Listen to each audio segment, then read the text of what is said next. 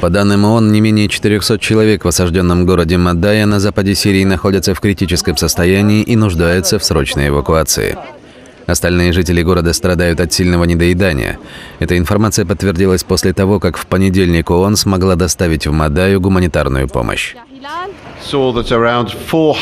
Около 400 человек, по нашим оценкам, должны быть срочно эвакуированы. Мы должны найти способ это сделать и как можно скорее договориться об их лечении. В противном случае они могут умереть от истощения или из-за других недугов. У моего сына гепатит. Я хочу вывести его отсюда. Здесь нет ни лекарств, ни врачей.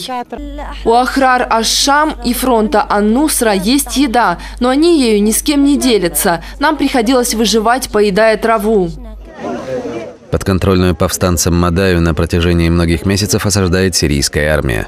Город с населением более 40 тысяч человек был отрезан от поставок продовольствия и медикаментов. При этом власти в Дамаске отрицали, что в городе царит голод, и фотографии истощенных людей называли фабрикацией. ООН подтвердила информацию о гуманитарном кризисе. Учитывая свидетельства, которые мы видели сами и которым можно доверять, там очень серьезное недоедание, критически не хватает еды, и есть сообщения об умерших от голода. На прошлой неделе власти Сирии дали разрешение доставить сюда необходимые продукты в рамках соглашения между всеми воюющими сторонами при посредничестве ООН и Красного Креста. Конвой привез съестные припасы, одеяла, стройматериалы, мыло и лекарства. Гуманитарную помощь также доставили в осажденные шиитские города Кефраю и Фуа в провинции Идлиб.